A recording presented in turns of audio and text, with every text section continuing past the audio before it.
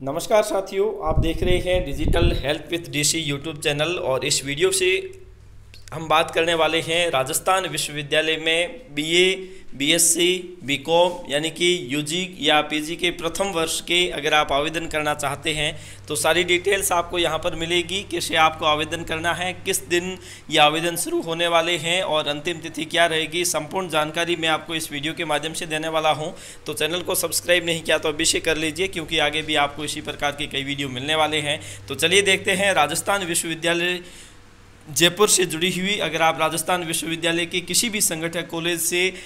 UG PG के प्रथम वर्ष में प्रवेश लेना चाहते हैं तो आपके लिए एक सुनहरा अवसर है और इसकी क्या प्रक्रिया होगी और किस प्रकार से आपके परसेंटेज बेस के आधार पर आपका चयन होगा तो सारी जानकारी मैं आपको इस वीडियो के माध्यम से दूँगा। तो चलिए देखते हैं आज का ये ट्यूटोरियल जिसके माध्यम से हम जानेंगे कि आप राजस्थान विश्वविद्यालय के बीए प्रथम वर्ष के विद्यार्थी के रूप में अगर आप पंजीकरण करना चाहते हैं तो उसमें आप क्या प्रक्रिया अपनाओगे, कब से ये फॉरम शुरू होने वाले चलिए देखते हैं उस आदेश को।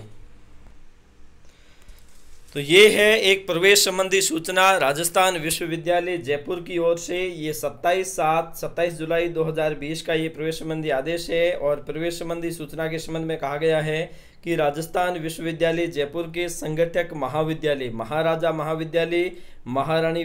महाविद्यालय, राजस्थान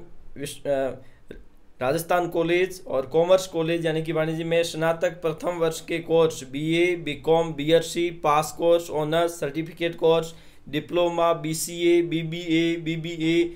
BBA में प्रवेश की ऑनलाइन प्रक्रिया विश्वविद्यालय की वेबसाइट पर दिनांक 29 जुलाई 2020 से उपलब्ध होगी। यानी कि अगर आप इसके लिए आवेदन करना चाहते हैं तो 29 जुलाई 2020 से यहाँ से आप आवेदन कर सकते हो, जिसकी अंतिम तिथि है वो 14 अगस्त 2020 होगी। और प्रवेश से संबंधित सारी विस्तृत जानकारी अगर आप लेना चाहते हैं तो विश्वविद्यालय में एक विवरणिका 2020-21 के नाम से एक लिंक दिया गया है। वहाँ जा पर आकर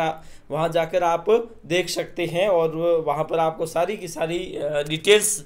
दिखाई देगी कि किस प्रकार से आपका वहाँ पर राजस्थान विश्वविद्यालय में प्रवेश होगा और किस प्रकार से आप अपना आवेदन और आवेदन से सारी की सारी की सारी जानकारियाँ और अंतिम चयन से प्रवेश से, यानी कि ऑनलाइन आवेदन से लेकर अंतिम चयन तक सारी की सारी प्रक्रिया वहाँ पर दी हुई होगी। आज के लिए इतना ही, धन्यवाद।